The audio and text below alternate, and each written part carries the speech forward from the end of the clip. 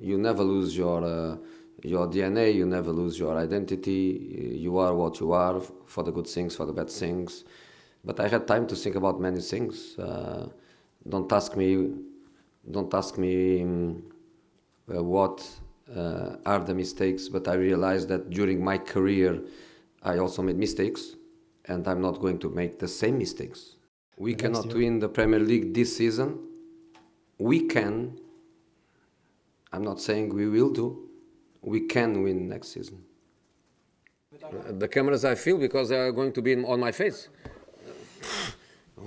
I walk on the tunnel, the camera will be on my face. Uh, even before the game finished, the camera is on my face. These guys, these guys is 24 hours per day.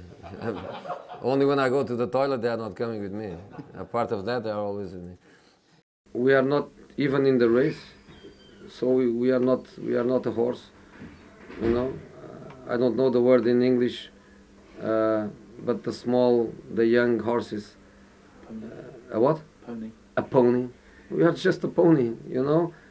I think the the changing room has nothing changed about about about with the with the, this kind of things. Uh, we are everyone is happy, everyone is have a love, and then everyone is focused every every single game. So I think this is, I think what should I say is is, is a is a bad rumor.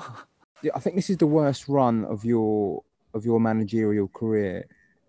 Is, does there come a point in time where are you already? Do you question your own methods and question your own ways that you work with your with your players and your and your team? No, not at all. Not at all. Zero.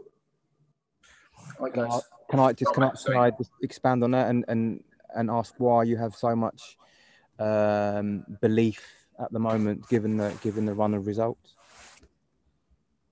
Because sometimes the results are consequence of uh, multi situations in in football, and um mine and my coaching staff uh, methods are second to nobody in the world. Sonny is very lucky that his father is a better person than Ole.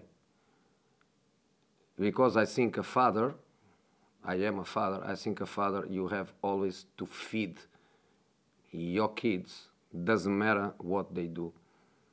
If you have to steal to feed your kids, you steal.